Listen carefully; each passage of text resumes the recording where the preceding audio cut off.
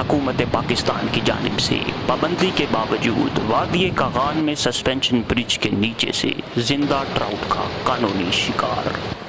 آپ غلط سمجھ رہے ہیں۔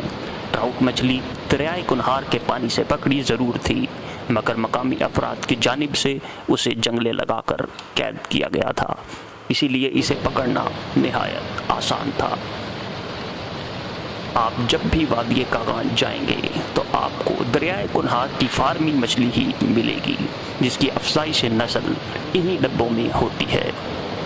جہاں کنہار کے تازہ اور ٹھنڈے پانی میں ہی اسے پروان چڑھایا جاتا ہے اور آپ کے آرڈر کرنے پر جال یا کنڈی ڈالے بغیر کریٹ کے ذریعے مچھلی پکڑ کر آپ کے سامنے پیش کر دی جاتی ہے۔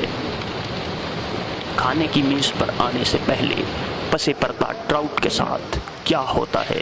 آپ اپنی آنکھ سے خود مشاہدہ کر سکتے ہیں۔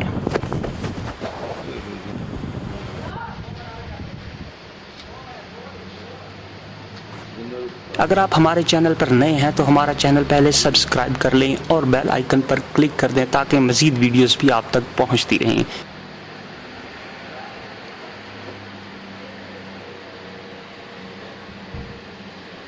بھی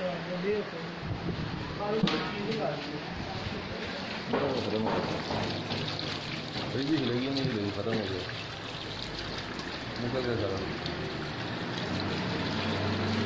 جلدی ہے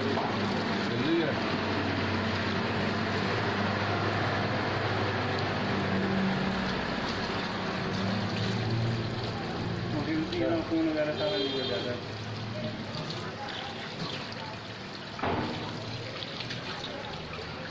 دلی ہے دلی ہے دماغ بھی اس کا وقت ہے